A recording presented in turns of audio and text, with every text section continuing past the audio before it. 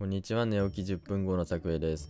えー、本日はですね、えー、なんか待って、声やばくない？俺の。とりあえずね、あの、声やばくてもちょっと喋っていくんですけど、あの、今回はですね、あの、昨日ね、あのー、コミュニティネルキキルキマッケユキャマッケンユ新田マッケンユでね、昨日ですね、あの、YouTube の方で、コミュニティっていう機能がありまして、あの、このコミュニティっていう機能は、まあ、Twitter で言うと、まあ、ツイートみたいな感じ。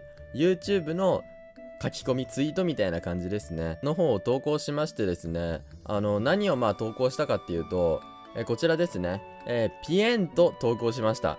で、こちらね、あの投票式になっていて、まあ、あの、4つね、項目があって、1、2、3、4ってあって、まあ、どれを投票するかっていうのは人それぞれみたいな感じでやってたんですけど、まずこちらの投票を見て、あの、不快になった方、本当に申し訳ございません。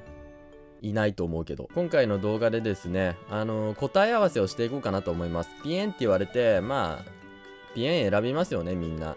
うん。それはね、当たり前のことだと思うんですよ。日常茶飯事だと思うんですけど、まあ、今回答え合わせの方をしていこうかなと思います。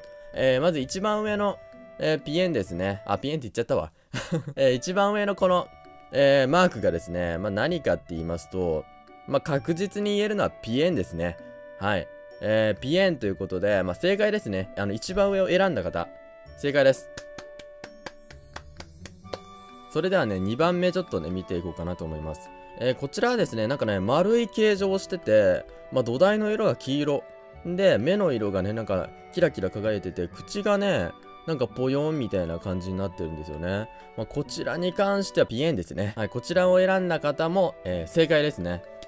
もうこの時点で正答率が50%もある問題なんですよ。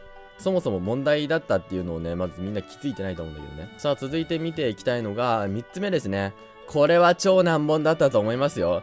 全然違うもん、1と2と。まあ、こちらのね、あの、3つ目のやつなんですけど、こちらはですね、1と2と少し似てる部分はあるんですけど、やっぱり多く言えんですね。えー、3つ目、えー、投票された方、こちらも正解になります。75%だよ、この問題。めっちゃ優しくない？俺。中間テストぐらい優しいよ。いや、中間テスト全然優しくねえわ。はい、えー、最後はですね、4つ目ですね。こちらはね、あのー、まあ、見ていこうかなと思います。いやー、こちらを選ぶ人はまあいないと思うんですよ。さすがにね。もう明らかに違うもん。うん、見、見間違えてもさすがに一番下は押さないと思うし、あの、ピエンを知らない人が、ピエンってどれですか？みたいなこと聞かれたら、絶対一番下の選択肢は出てこないの。こちらを選んだ方は不正解ですね。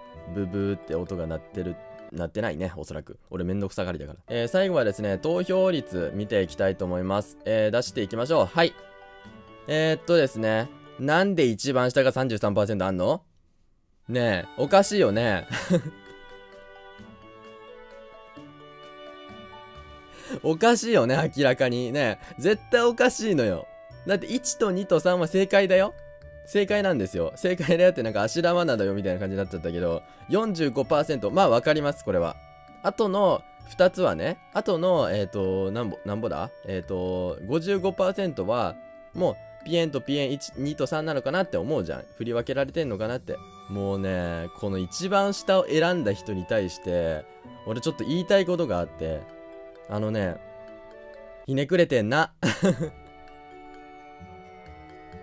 もう絶対一番下選んだ人はね、確実にひねくれてます。もう確 確実にひねくれてるんですけど、いや、俺がね、もしこの問題出された側だとしたら、あ、でも一番下選ぶかもしんない。はい、ということで今回は、えー、こちらの投票についてね、あのー、答え合わせみたいな動画ですね。あのー、やっていきました。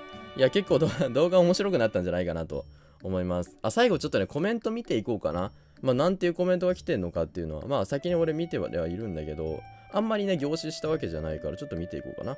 えー、っと、え、ピエンピエン、ピエンピエンピエンピエン、全部ピエンじゃねえかよ。